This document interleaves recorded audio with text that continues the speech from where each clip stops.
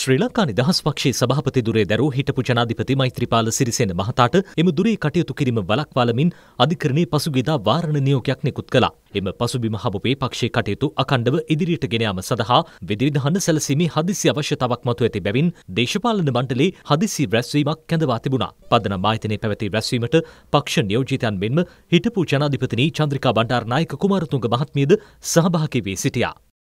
මැතිවරණ කොමිසම ලියාපංචලා තියෙන 11 දෙනෙක් ඉන්නවා. ඒ 11 දෙනාගෙන් 6 දෙනෙක් අද රැස් වෙලා තියෙනවා. ඒ අනුව නිල වශයෙන් අපි දේශපාලන මණ්ඩලය රැස් වෙලා අපි පැහැදිලි තීන්දුව කීපයක් ගත්තා. ඒ තීන්දුව කීපෙන් එකක් තමයි පක්ෂයේ දැනට සභාපතිවරයාගේ කටයුතු තහනමට ලක් වෙලා තියෙනවා නීතිමය ක්‍රියාමාර්ග ගන්න තියෙනවා. ඒ නිසා පක්ෂයක් සභාපතිවරයෙක්ගෙන් තොරව ඉදිරි කාලයේ ගමන් කරන්න පුළුවන් කමක් නැහැ. විශේෂයෙන් මේ වගේ දේශපාලන වශයෙන් ඉතාමත් අත්‍යවශ්‍ය කාලවකවානුවක් තුල. ශ්‍රී ලංකා නිදහස් පාක්ෂිකයන් සහ මේ රට පැහැදිලි කරන්න ඕනේ. පක්ෂයේ ජ්‍යෙෂ්ඨව පැත්තකට දාලා වෙන කට්ටිය තමයි වැඩ බලන සභාපතිවරයා විදිහට පත් කරේ. ඒ නිසා අපි පක්ෂයේ ජ්‍යෙෂ්ඨම පුද්ගලයෙක් විදිහට අපි නිමල් සිරිපාත් සිල්වා මැතිතුමාව පක්ෂයේ වැඩ බලන සභාපතිවරයා විදිහට තෝරාපත් කරගත්තා.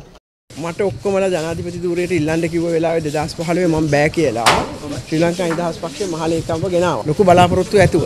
එයා රටත් කාලා පක්ෂෙත් කෑවා. ඉතින් ඒ වෙච්ච වැරද්ද අද නිවැරදි කෙරුවා. නිදහස් පක්ෂය යලි ගොඩ එයි කියලා හිතනවද ඔබතුමිය මේ තත්ත්වෙත් එක්ක? ස්ථීරව පුළුවන්. ඔබතුමිය ඒකට මැදිහත් වෙනවද? නැත්නම් මගදී උදව් කරනවා. නිදහස් පක්ෂයට වැඩ බලන සභාපතිවරයෙක් පත් කර ගැනීම සාධාරණයිද? නීත්‍ය අනුකූලව එය අනිවාර්යයෙන්ම සිදු කළ යුතුයි. ඔබතුමාලා මේක කරගෙන යන්න දෙයිද? නෑ ඉතින් බලමු අපි. අපි පක්ෂය වෙනුවෙන් පක්ෂයේ උන්නතිය වෙනුවෙන් අපි කටයුතු කරනවා.